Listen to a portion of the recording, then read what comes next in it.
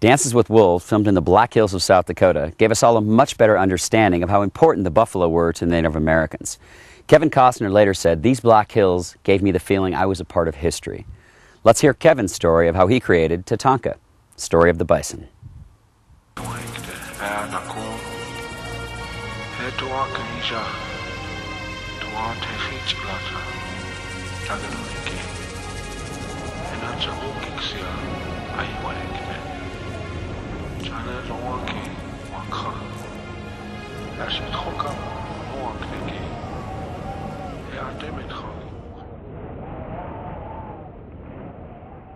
I've always, in my heart, believed that there was a big history before Hickok. The uh, plains and Deadwood, and um, it's not something that's talked about very much. I've been trying to build a hotel for about six, seven, eight years, and um, and hadn't been able to do it.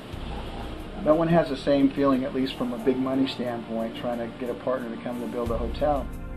1994, Kevin Costner commissioned a sculpture to reflect the special relationship the Lakota Indians had with the American buffalo. It was to become the focal point of a resort hotel he was planning to build outside of historic Deadwood, South Dakota.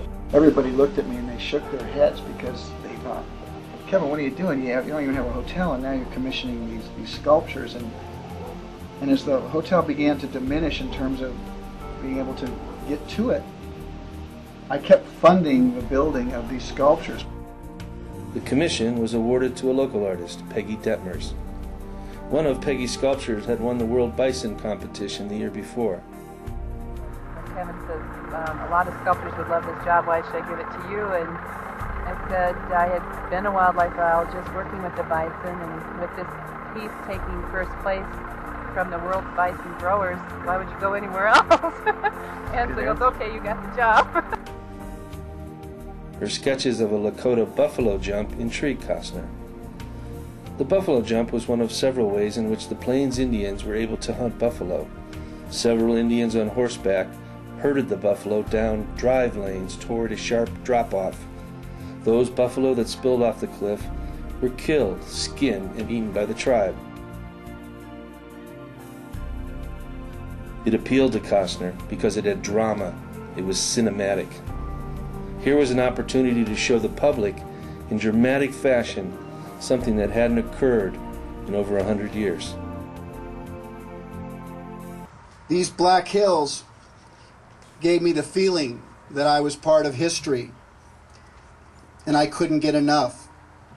I stopped at the construction of the Crazy Horse Monument. I was excited, but it was just rock, his image still hiding in the great granite. I saw a jar, and it said if I wanted to help, I could give money. I didn't have much, but I gave. I wanted to. It felt right. I couldn't help but be drawn into the story of the Great Plains Indians and the broken treaties that led to the loss of the great Ahasapa.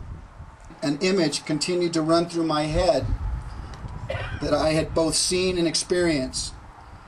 The sight of buffalo running at full speed being chased on horseback in a life and death struggle. The image came into being one night at the number 10 saloon with Peggy Detmers and myself working off a napkin. Today you see her work, not to be duplicated anywhere in the world, and a work that will most certainly outlive everyone here, giving silent testimony to the beauty and skill of a culture that once reigned here supreme.